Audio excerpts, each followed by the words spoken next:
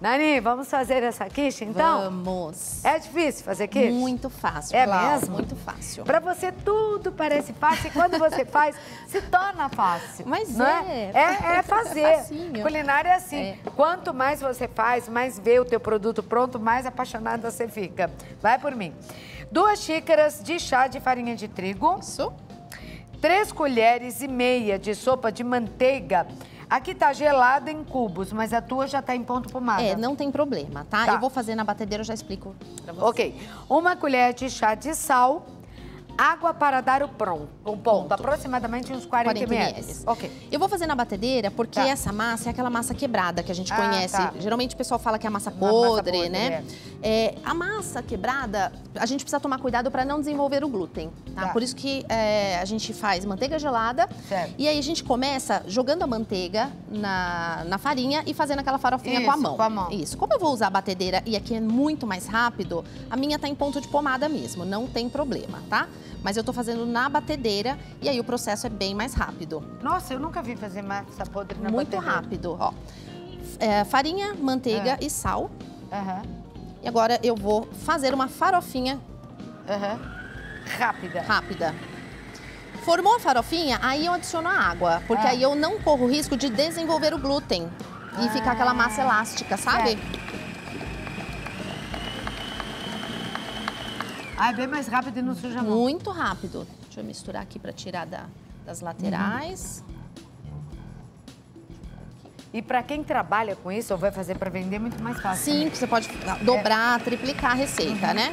Aumenta a produção. Isso. Pronto, fiz a farofa. Tá. Agora eu venho aqui com a água.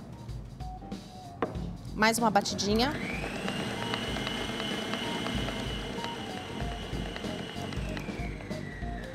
Tá. Essa é aquela massinha que derrete na boca.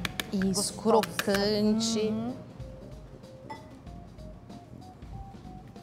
Pronto, ó. Por isso que nessa você deve usar manteiga de boa qualidade, né? Exatamente. É mais saborosa, lógico. Pode usar margarina, né? Mas É. eu sempre falo, a manteiga é qualidade, né, gente? Lógico. E é muito mais Deixar saborosa, aqui, né? posso te entregar?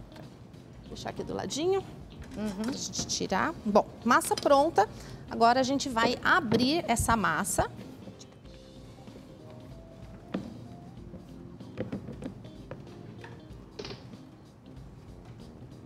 Você abre com o quê? Eu Ah, ponho entra- ela num tá. saquinho Também não pra faz sujeira. facilitar. É.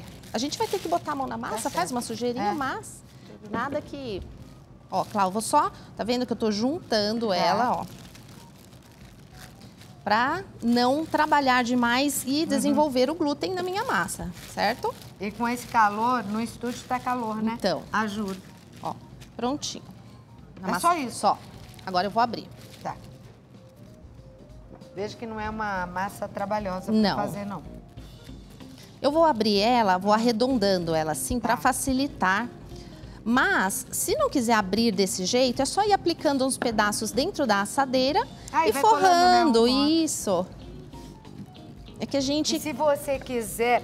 Normalmente, a quiche, a característica da quiche é essa, né? Ela é aberta. Isso. A torta, Fechada. normalmente, é fechada. É o Uhum. que é, diferencia uma da outra. Quando você vê aberta, é quiche. Fechada, é torta. Isso. Mas ela fez uma quiche com tampinha.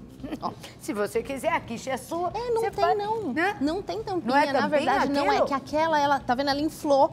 Ah, e aí é? ficou. Eu achei que era uma Isso, tampinha não é, ficou certinha. bonita, né? Ficou linda, parece, não parece? Diferente. Que ela tá assim, feito uma, uma marmitinha, assim, com a Isso. tampinha. Ó, fundo removível de preferência, Tá. mas é uma massa que sai muito fácil, então não se preocupa. Vou colocar aqui. Tudo para não fazer sujeira, ó. Tô vendo. Põe a mão aqui embaixo. Boa, né? E agora eu vou acomodando aqui a minha massa. Tirar esse saquinho.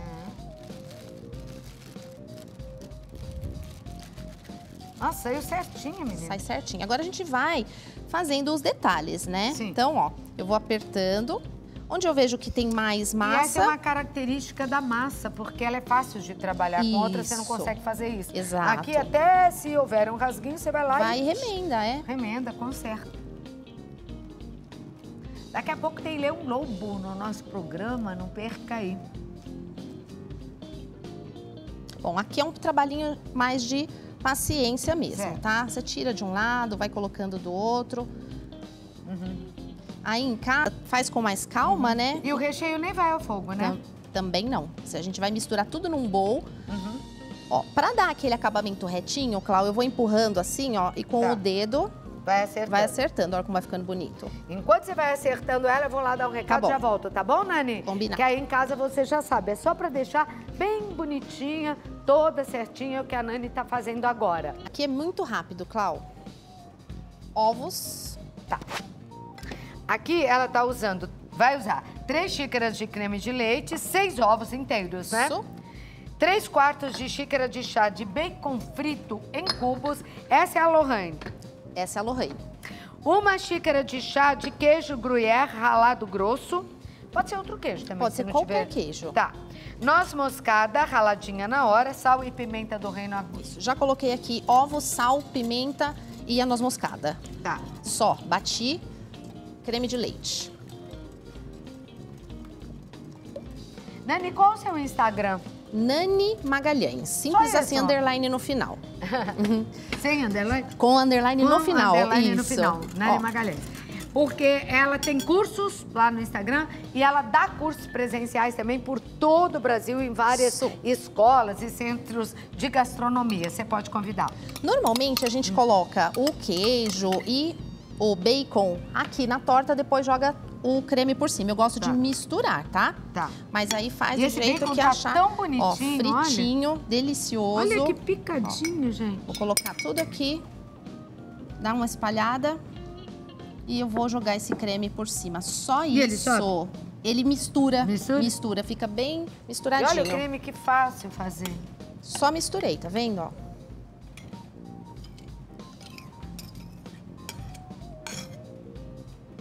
E pra Nossa, finalizar, bonito, eu jogo um pouquinho daquele queijo que tá na receita. certinho, hein? Dá certinho. Ela é, estufa, então, Estufa, um pouquinho? isso. Ela engorda um Ela dá uma engordadinha. Mas ela estufa e não, não transborda, tá? Tá. Ela fica daquele jeitinho. O forno tem que estar como, Nani? O forno eu gosto de colocar a 200 graus para Tá. aquecer. Quando eu coloco minha quiche, eu baixo para 180 e deixo lá. Eu sei que ela tá quase pronta quando ela começa a estufar. E aí ela fica douradinha assim e pronto. Só isso, Clau. Olha aí, que fácil fazer e gostoso de comer. Isso. E você pode trocar o bacon por qualquer outro recheio. Ali eu coloquei alho poró e shimeji, tudo puxado Tá. na manteiga só. Olha que bacana.